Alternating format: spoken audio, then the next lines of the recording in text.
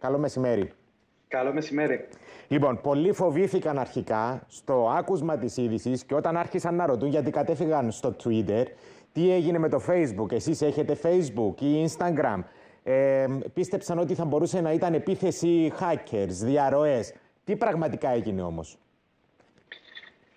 Όντως στην αρχή ήταν λίγο συγχυστικό το ότι βλέπαμε. Δεν ξέραμε ποιος έφταιγε. Στην αρχή νομίζαμε ότι ήταν ο πάροχος, μετά νομίζαμε ότι ήταν κάτι στο διαδίκτυο γενικά. Αλλά φάνηκε ότι επειδή ήταν όλες οι υπηρεσίες του Facebook, οι οποίες είναι κάτω από μία νομπρέλα, Facebook, Instagram, Messenger και WhatsApp, ε, φάνηκε ότι ήταν κάποιο τεχνικό λάθος, ένα ανθρώπινο λάθος δηλαδή που να ε, άλλαξαν κάποιες ρυθμίσεις στα κεντρικά που έχουν σχέση με τη δικτύωση των υπηρεσιών, ναι. με αποτέλεσμα να, κλει, να κλειδωθούν όλες οι επικοινωνίες και οτιδήποτε έχει σχέση με το, την πλατφόρμα τους να μην μπορεί να λειτουργήσει. Ναι. Σε σημείο που δεν μπορούσαν καν οι υπαλλήλοι της εταιρείας να συνδεθούν είτε εξ αποστάσεως είτε ακόμα και με τις κάρτες πρόσβασης που μπαίναν στα κτίρια τους, δεν δούλευε τίποτα. Γιατί το, όλα είναι συνδεδεμένα στο ίδιο σύστημα, γι' αυτό; Είναι κεντρικοποιημένες υπηρεσίες του Facebook. Άρα, εάν τα χτίζανε όλα με, για παράδειγμα, αν η ταυτοποίηση των καρτών χρησιμοποιούσε τον λογαριασμό του Facebook, πολύ, πολύ λογικό θα ήταν, ναι. ε, και να μην δούλευε το Facebook, άρα δεν θα άνοιγε η πόρτα. Mm-hmm. Η, η, το να χτίζουμε γύρω από μια υπηρεσία ε, σημαίνει ότι αν αυτή η συγκεκριμένη υπηρεσία έχει θέμα, είναι αυτονόητο ότι δεν θα δουλεύει τίποτε γύρω του. Όπως σαν να είναι ο ηλεκτρισμός. Δηλαδή, πώς περιμένουμε να έχουμε οτιδήποτε άλλη ε, υποδομή, αν, αν η κυριότερη υποδομή που μας ε, παρέχει όλη αυτή τη ε, τεχνολογία να μην Είναι εκτός λειτουργίας, ναι, μάλιστα. Ακριβώς. Λοιπόν, και αυτό το τεχνικό λάθος τώρα αποδίδεται σε ένα άνθρωπο, σε ένα τεχνικό τμήμα. Πώς έγιναν τα πράγματα, ή δεν ξέρουμε ακόμη. Θα μπορούσε, δεν παίζει και ρόλο, αλλά θα μπορούσε να, να, να ήταν ένα, ένα λάθος από έναν άτομο. Δηλαδή, σε αυτές τις περιπτώσεις, ακόμα και μια τελεία, έναν κόμμα να γραφτεί περισσότερο στον προγραμματισμό ή στι ρυθμίσει του δικτύου, είναι αρκετό να τα φέρει όλα σε πλακά όπως είδα. Ε, το τι συνέβη και σε τέτοιο μεγάλο οργανισμό και ότι το, το, ο χρόνος που χρειάστηκε ήταν τόσες ώρες, ναι. αυτό είναι, αυτή είναι η είδηση και το, το πρωτόγνωρο της ιστορίας, διότι ε, εγώ πιστεύω ότι έχει παίζει και ρόλο το γεγονός ότι οι πλήστοι δουλεύαν εξ αποστάσεως, ναι. όπως και σήμερα. Ε, Μεγάλες εταιρείες όπως το Facebook, τους υπαλλήλους τους δεν τους φωνάξαν όλους πίσω. Ε, άρα το COVID ε, μπορεί να έχει και κάποια ε, Διαδραμάτισε κάποιο ρόλο. Ναι. Ακριβώς, κάποιο ρόλο σε αυτήν την καθυστέρηση, διότι περιμέναν τους τεχνικούς να πάνε μέσα επί τόπου να διορθώσουν το θέμα στις μηχανές που επηρεαστήκαν. Ναι. Άρα ε, και η πολιτική να έλεγε να υπάρχουν ε, δευτερεύον συστήματα τα οποία θα πρέπει να λειτουργούν σε αυτές τις περιπτώσεις. Στη στιγμή που ε, το πρόβλημα έγινε από το δίκτυο, δεν μπορούσαν να λειτουργήσουν αυτά. Θα τους γίνει και ε, μάθημα αυτό, όχι μόνο του Facebook. Όλες ναι. οι άλλε εταιρείες που έχουν δει με παράδειγμα το τι έχει γίνει χθες, να μπορούν να προβλέψουν με το κακό που έπαθε το Facebook ένα μελλοντικό παρόμοιο συμβάν, το οποίο θα γίνει. Έχει γίνει και στο παρελθόν, ναι. απλά όχι σε έτσι μεγάλο βαθμό και δεν υπάρχει λόγος να μην γίνει, διότι αυτό ήταν από ανθρώπινο παράγοντα. Αύριο μπορεί να είναι από άλλον παράγοντα, εξωγενή ή ας μάλιστα, μάλιστα, από μια καταιγίδα, μια φωτιά, ένα σεισμό, να καταστρέψει υποδομές, η γραφεία, οι σερβερ, το οποίο να μας φέρει στο ίδιο παρονομαστή με χτες. Να μην μπορούμε εμείς, σαν χρήστες μιας πλατφόρμας, να επικοινωνήσουμε και ε, ταυτόχρονα να ψάχνουμε εναλλακτικές. Χθες ναι. το, το Twitter και τα, οι άλλες εφαρμογές των μηνυμάτων πήραν φωτιά. Ανέβηκαν οι μετοχές του Twitter, έτσι, χθες. Και έπεσαν του Facebook.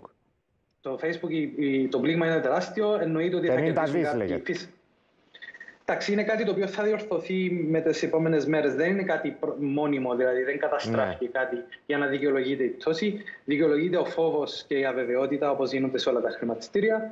Αλλά το, το τι συνέβη και με το να κερδίσει έναν άλλο social media όπως το Twitter όλη, το, όλη τη σημασία του πλανήτη χθες, διότι δεν υπήρχε τρόπος να επικοινωνήσει ο κόσμος ε, στο επίπεδο Facebook ναι. όπως είναι το Twitter. Σε άλλη πλατφόρμα, ε, ναι, ναι, ναι. Ακριβώς και το TikTok το ίδιο και όλες όλες, όλες οι, οι ανερχόμενες υπηρεσίες ή αυτές που ξεχαστήκαν. Διότι υπάρχουν πάρα πολλά δίκτυα τα οποία mm-hmm. έχουμε όλοι και δεν τα χρησιμοποιούμε. Ε, σιγά σιγά βρήκαν ξανά χρήση χτες για να δουν τι συμβαίνει. Φυσικά θα επιστρέψουν πίσω όλοι εκεί που ε, είναι πιο ε, μαθημένοι να χρησιμοποιούν. Ναι. Αλλά το, το, το, το, τι συμβαίνει με αυτές τις εταιρείες είναι ότι οι εναλλακτικές υπήρχαν, δούλευαν και κατάφεραν να, τους, να, τους, ε, να, να, να, συνδέσουν όλο αυτόν τον κόσμο που έφυγε από το Facebook. Και μιλάμε το Facebook είναι τόσο μεγάλο, δηλαδή το WhatsApp, το Messenger, μόνο από μηνύματα. Είναι τα, τα δύο πρώτα στον κόσμο.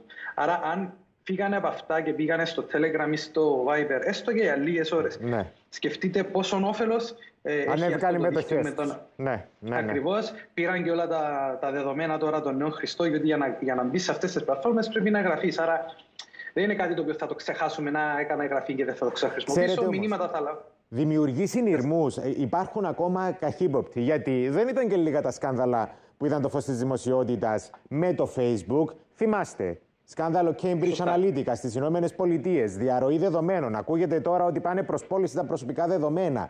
Φυσικά τώρα τι προσωπικά δεδομένα θα πωλήσω αφού τα ίδιοι μας αυτόβουλα τα βγάζουμε τα προσωπικά μας δεδομένα μέσα από αυτές τις πλατφόρμες, τα μέσα κοινωνικής δικτύωσης. Μπορεί να αποκλειστεί να ήταν κάτι άλλο, είτε από ανταγωνιστή, είτε να υπήρχε κάποια άλλη σκοπιμότητα; Ε, δεν νομίζω να έχει σχέση και δεν, δεν φαίνεται να είναι επίθεση, διότι καταρχήν μια επίθεση τέτοιου βαθμού για να ρίξεις έναν κολοσσό από το Facebook, από, το, από έξω, δηλαδή όχι εκ των έσω. Μόνοι τους ρίξανε την πλατφόρμα. Δεν έγινε κάτι ε, το οποίο να δημιούργησε ζημιά ή να έχει κάποια, ε, κάποια ζημιά η οποία να είναι ανεπανορθωτή. Ήταν απλά σαν να έκλεισε το ναι. δίκτυο τους. Μάλιστα. Ε, Όμως, ε, οι διαρροές που ακούμε που δεν έχουν σχέση με αυτήν τον blackout ε, δεν είναι μόνο τα δεδομένα που δίνουμε εμείς σε δημόσια θέα, δηλαδή το όνομα μας, mm-hmm. τα γενέθλιά μας, τις αναρτήσεις μας, τις φωτογραφίες. Είναι και το email μας, ο αριθμός του κινητού μας, το οποίο μπορεί να μην θέλουμε κανέναν άλλο να το ξέρει. Υπάρχουν πολλοί λόγοι που δεν πρέπει να ξέρει κάποιος το, το κινητό και το email μας.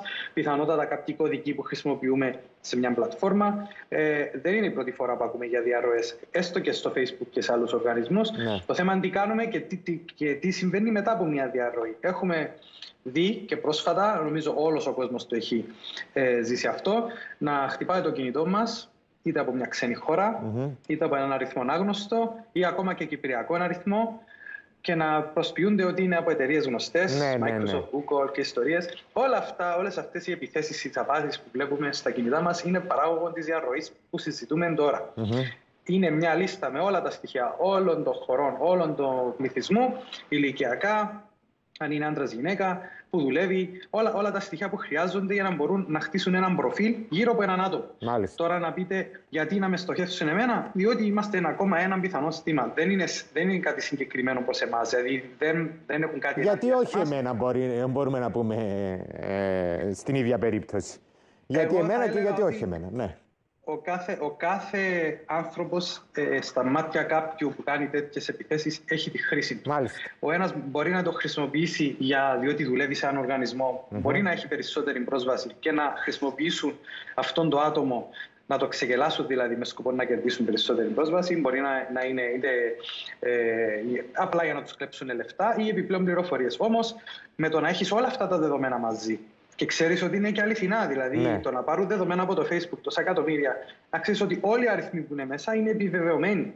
Δεν είναι οι αριθμοί που περάσαν κάποιοι ναι, ναι τυχαία ναι, απλά για να προχωρήσουν στο επόμενο και να θεωρείται ο αριθμός τους αληθινός. Και είναι και επικαιροποιημένα αυτά τα στοιχεία, διότι το Facebook και όλοι είναι οι οργανισμοί που χρησιμοποιούν αυτά τα, τα στοιχεία, μας στέλνουν και μηνύματα κάθε φορά που θα συνδεθούμε για σκοπούς ασφάλειας. Ναι, ναι. Αυτή η λίστα είναι πάρα πολύ σημαντική δεν είναι κάτι το οποίο πρέπει να γνωρίσουμε. Τη στιγμή που, μας, που βλέπουμε και εξ αποτελέσματος που μας παίρνουν τηλέφωνο για να μας ξεγελάσουν, σε άλλες χώρες που μιλάνε πρώτα την αγγλική γλώσσα, διότι σε εμάς μας παίρνανε τηλέφωνο από τρίτες χώρες και μας μιλούσαν αγγλικά, δεν ήταν τόσο πιστευτή η επίθεση.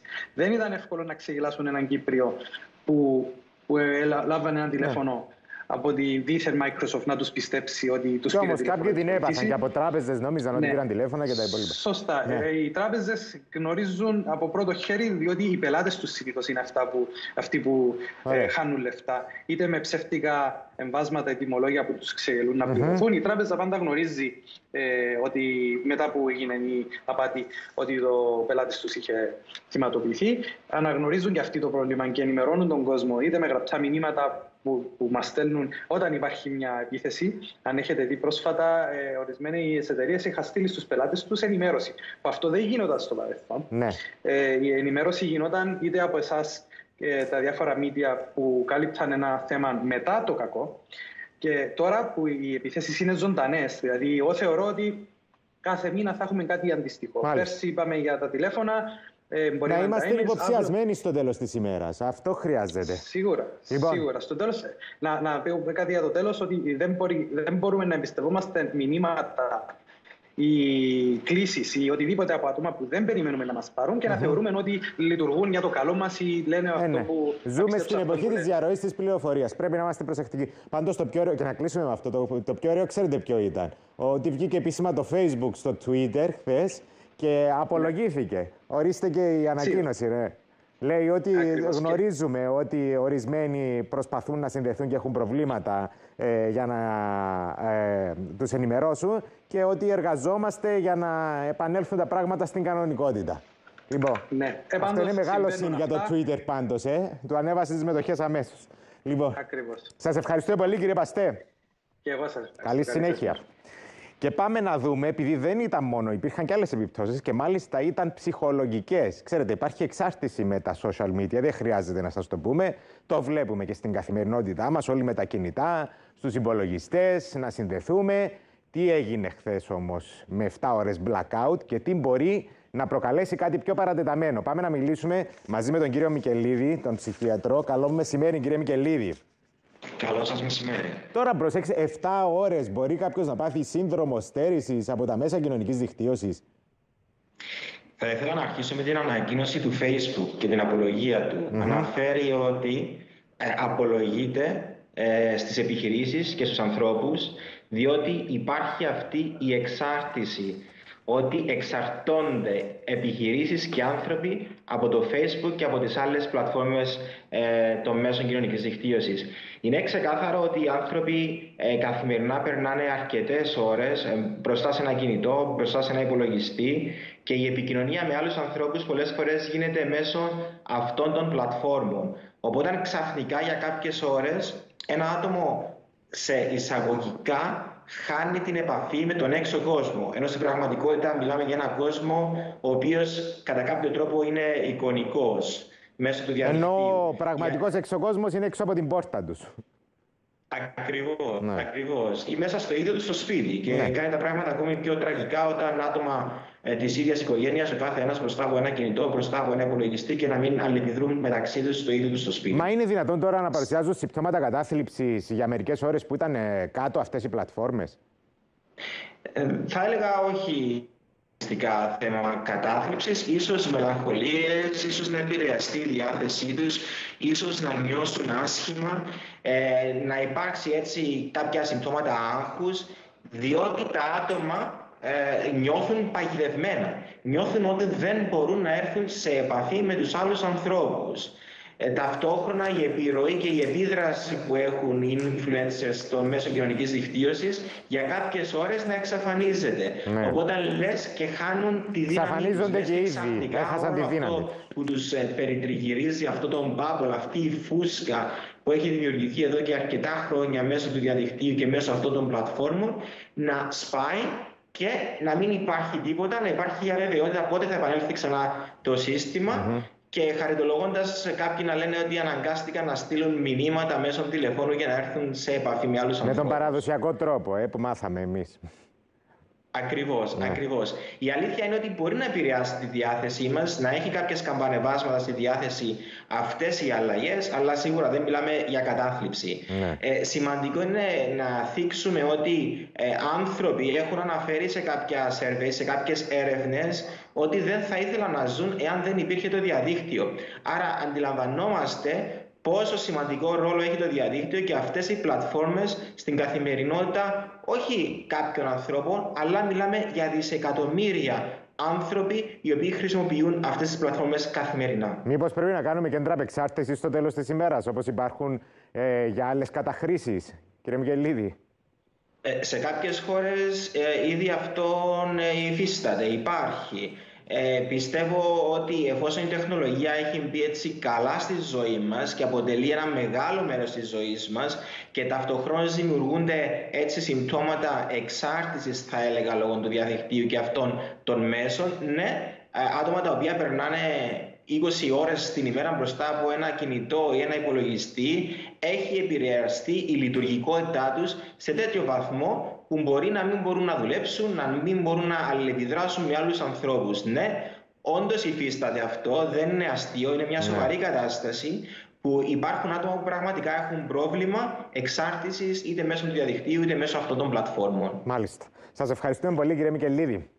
Να είστε καλά και καλή συνέχεια. Καλή συνέχεια. Και πάμε στην πολιτική επικαιρότητα τώρα.